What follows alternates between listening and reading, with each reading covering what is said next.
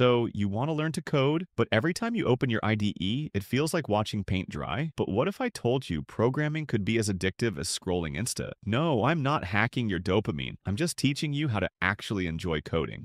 So, the first thing you are going to do is start small. Commit to just 20 minutes of coding daily. Why? Because starting is the hardest part. Once you begin, you'll often keep going. Then break projects into micro wins. Today, I'll center this div, or I'll write one function. Tiny victories release dopamine, your brain's reward chemical, making you crave more. In summary, fix one CSS bug, check it off, feel accomplished, repeat. Then Anchor coding to something you already do daily. After your morning coffee, code for 15 minutes. During lunch, review one concept. This is called habit stacking. By attaching coding to an existing habit, you remove decision fatigue. After I pour my afternoon tea, I open VS Code. No debate, no procrastination. And believe me, this thing is really going to work.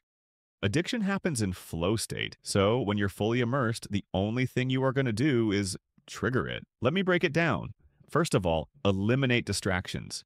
Use apps like Cold Turkey to block social media. Secondly, define one clear task, build the login button, and yes, do not work on project yet. Then the most effective thing, Pomodoro, 25 minutes focus work, and 5 minute break. This trains your brain to associate coding with deep focus, not stress.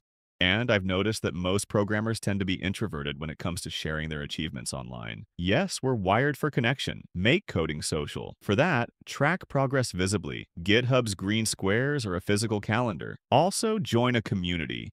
Share daily wins in a Discord group, like freeCodeCamp's. Celebrating small wins with others turns solitary work into shared momentum. I'm genuinely asking you to try this for just one week, for your own sake. Then come back here for the motivation to keep going another week.